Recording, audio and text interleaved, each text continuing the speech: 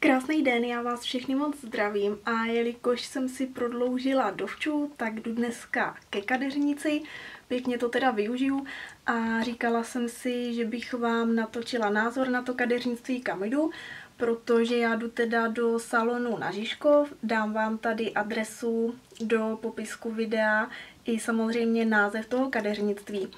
A já jsem si to kadeřnictví vybrala na slevomatu, na základě kladných recenzí, jednak teda, kdy tam ty návštěvnice psali pozitivní ohlasy a taky teda tam měli přiložené fotky, což se mi moc líbilo, výsledky těch prací těch kadeřnic, myslím si, že jsou tam dvě, uvidím.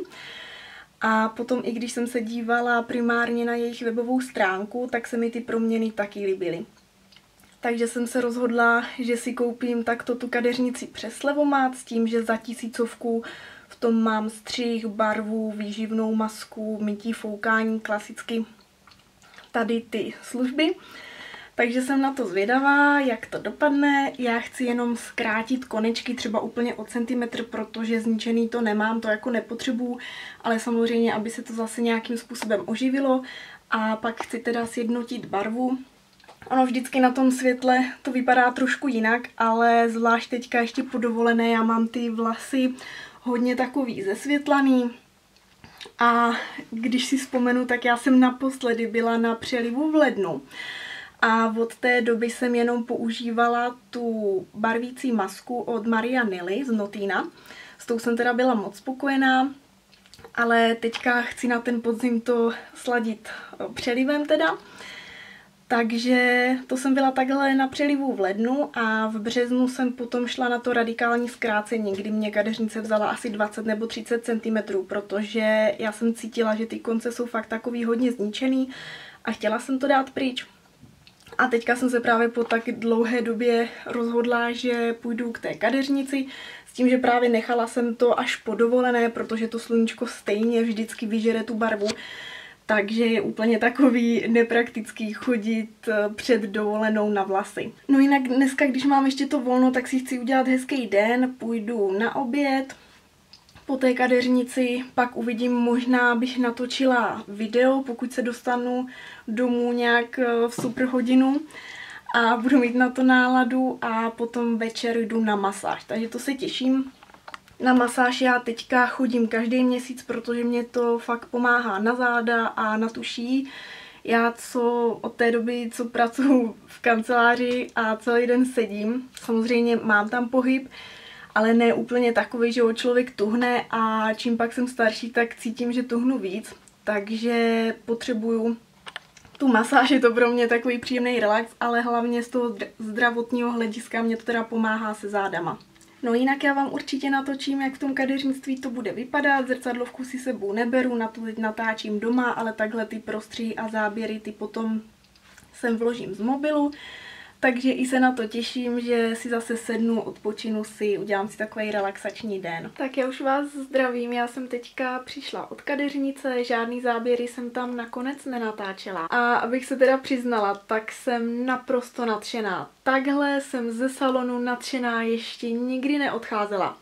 Musím říct, že jsem úplně moc ráda, že jsem to takhle přes ten slevomat ten salon využila. Já, abych řekla k tomu slevomatu, tak od té doby, co jsem v Praze, tak minimálně dvakrát do měsíce to využívám, ať už na nějaký vstupy, nebo ty různé beauty procedury, kosmetika, masáže.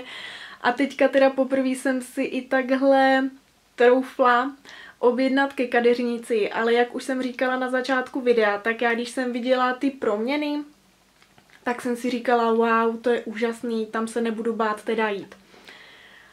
A jako jsem tak neskutečně nadšená, že vám to teda musím popsat. Já jsem přišla do toho salonu, jednak úplně skvělý, příjemný chování kadeřnic, hnedka káva mi byla nabídnuta, voda, takže úplná paráda.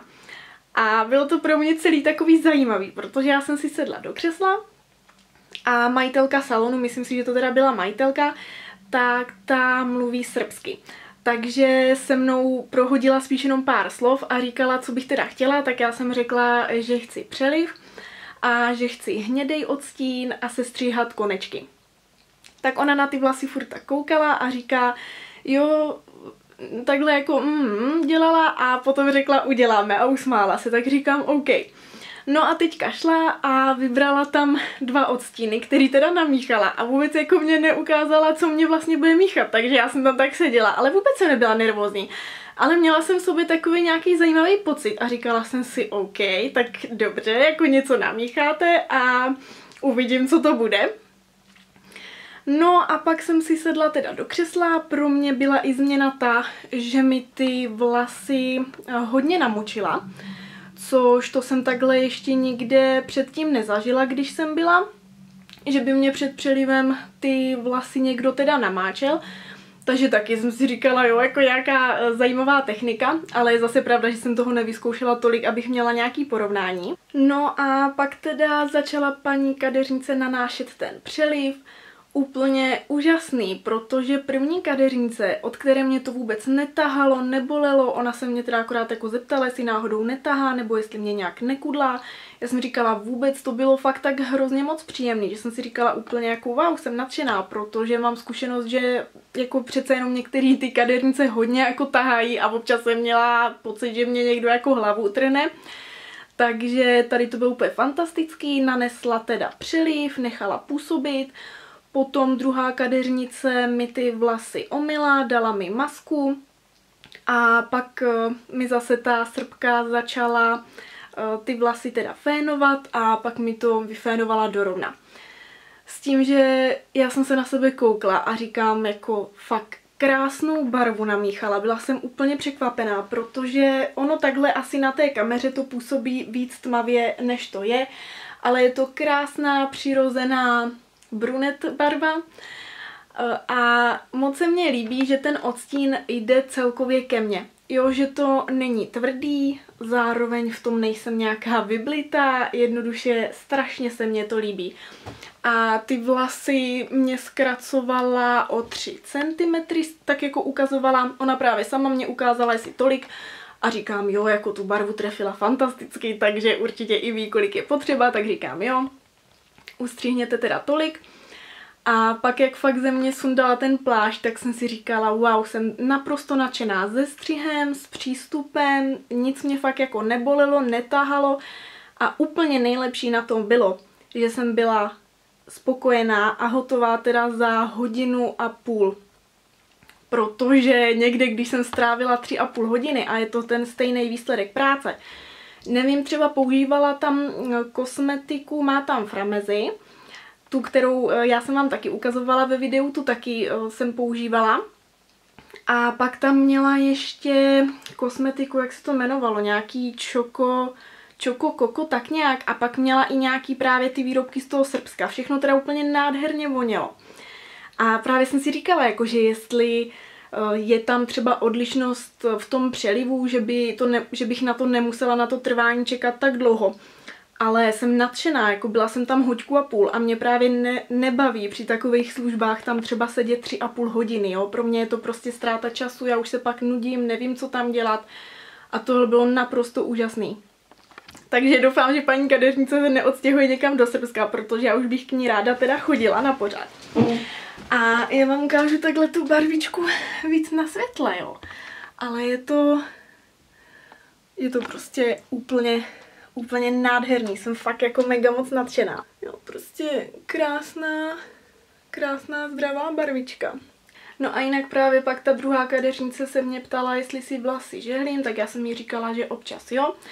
A ona, že to jde poznat, že na některých místech se jí zdá, že mám ty vlasy spálený, takže mě doporučila, abych se mrkla na ten keratin, že ho tam taky právě dělají a že po dobu, jak bych na to šla, tak po dobu tří měsíců mám pořád ty vlasy krásně rovný, lesklý, že i díky tomu keratinu ty vlasy rychleji schnou. A potom, když tam člověk chodí opakovaně, tak čím víckrát tam jde, tak jakoby na tu delší dobu ty vyhlazený vlasy má. Což mě teda zaujalo, takže právě teďka, jak dotočím tady to video, tak bych se zase chtěla podívat na ten slevomat, jestli to tam mají zrovna v nabídce. Kdyby ne, tak se tam objednám i tak normálně, protože jednoduše jsem fakt naprosto nadšená. Já jako v tomto videu to řeknu asi tisíckrát.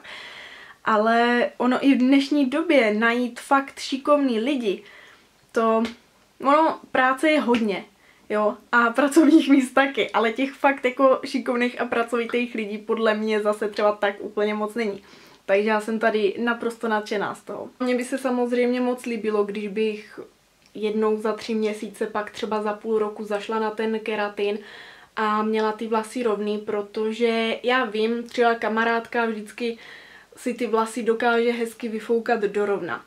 Jenomže, já nevím, mě to zatím úplně tak moc nejde, a jednoduše, když si ty vlasy umyju a pak bych s tím šla, tak někdy to mám hlavně po bokách takový divně skroucený, vypadá to divně, já se cítím divně, takže proto si to jako občas přežehlím ty vlasy, určitě to nežehlím každý den, eh, co je maximum, tak maximálně to žehlím právě, když si jako umývám vlasy, tak potom a zase do dalšího umytí už ne. A právě když jsem tam seděla na tom křesle, tak jsem si úplně říkala, že tohle je přesně činnost, kterou když bych si měla vybrat do konce života, tak právě to, aby se mě někdo staral pořád o vlasy, aby mi je umyl, vyfoukal, nastyloval.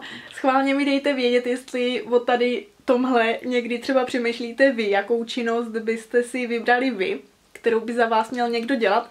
Já když jsem se o tom bavila s kamarádkama, tak hodně, eh, hodně kamarádek mi zase řeklo, že by se nechtělo holit, že by si vybrali to, aby byli furt jako oholený, jo.